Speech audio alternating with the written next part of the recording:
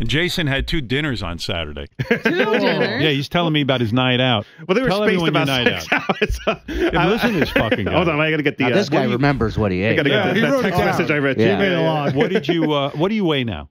I think about 300. Right. So I went out to a concert with one of the guys in the office. So we had a whole night of eating and drinking. It started about uh, 5:30 p.m. Right. We started at a bar drinking uh, Aperol spritzes. Yeah. Then we went out to um, a seafood place where we had uh, we split the two of us a half a dozen oysters, four shrimp cocktail, tempura, popcorn, rock shrimp, two toro hand rolls, two wagyu uni hand rolls with truffle paste, spicy shrimp dumplings, and two bottles of really good sake. For two guys. For two You had guys. Two whole bottles of sake Yes.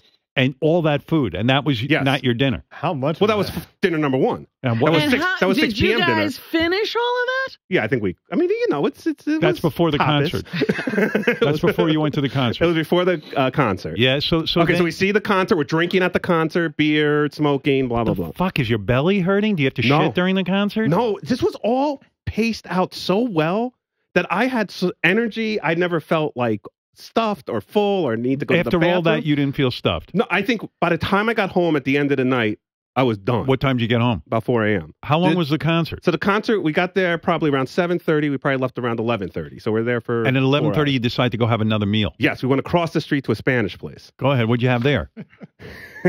chorizo, shrimp and garlic, pork skin, dates wrapped around blue cheese, which was delicious, uh, paella with cuttlefish and squid ink, flan, a bottle of champagne, and a bottle of red wine For the two of you. Jeez. for the two of us. Motherfucker. A good diet for you would be like have one dinner. There you go. That Yeah. would be You're so right. just start there. Start with just Thank one you, dinner. Chris.